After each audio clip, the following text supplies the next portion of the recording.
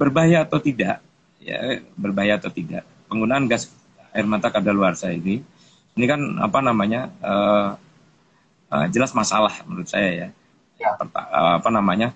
Pertama ini barang kadaluarsa. Barang kadaluarsa kalau ini ini ini barang negara gitu ya, aset negara ya. dan ini barang habis pakai. Kalau dia sudah kadaluarsa mestinya dimusnahkan, tidak digunakan. Bukan betul, betul. bukan bukan bukan bukan soal berbahaya atau tidak. Ini soal ini soal pengelolaan barang negara kan gitu. Ya. Jadi kalau dia sudah tidak bisa tidak tidak uh, apa namanya tidak uh, secara jangka waktu ya dia sudah kadaluarsa sudah tidak bisa digunakan lagi ya sudah. Ini kan barang habis pakai ya kan. Ya. Kalau ya. apa namanya kalau sudah uh, kadaluarsa ya udah buang aja musnahkan atau kalau memang dianggap tidak berbahaya gunakan untuk latihan.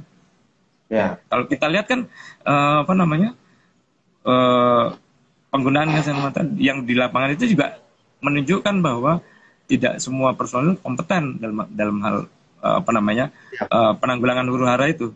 Gitu.